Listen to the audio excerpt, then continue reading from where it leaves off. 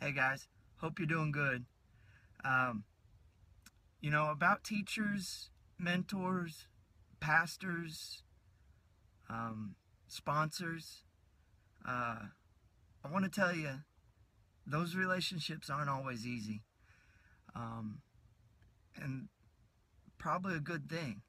But I want to make it very clear that there's going to be challenges to those relationships. The people God brings into your life, know, whether it be your pastor, your sponsor, or, or whatever you call them, uh, if you know God brought you to them, uh, then you need to just stick through it. You need to stick with it. You need to look past any flaws, anything that you don't agree with.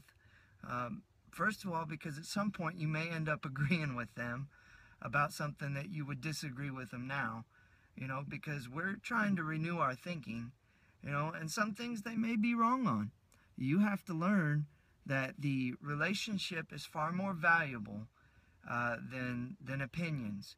You know, if it's an opinion and it's not uh, about what uh, we know is truth and the Word, uh, then they're allowed to have their opinion. I'm allowed to have my opinion. Uh, there are going to come challenges, and those people aren't always going to say the things that you want to hear. Your pastor or your teacher or your, or your sponsor isn't always going to say what you like to hear, and that's a good thing. But they are going to tell you the truth if they're a good sponsor, if they're a good pastor, and so they may not always. Uh, and, and, a lot of times they don't enjoy telling you uh, the hard things. But if they want to see you grow, then they're going to say it. Um, it's not important that we're comfortable listening to the people God brought us to. It's not important that we always hear the encouraging things. It's important that we do hear those things, but it's more important that we grow from from what they're telling us. And and when they tell us things, man, it's like a it's like a chisel on a rock. They're trying to chisel the things off that that don't belong there so they can make uh, make us into something great, make us into something better, and, and to show us our true potential. So don't get discouraged if you have um, a disagreement. You know, um, a lot of times if I don't agree with something I hear, I keep it to myself and I just kind of put it up there on the shelf, let it sit for a while. I don't jump to any conclusions. You know, I've done that before and, and it almost hurt me. And uh, so now I just be patient, let it simmer, pray about it, and a lot of times I'll figure out that it's just not important enough to uh, argue over.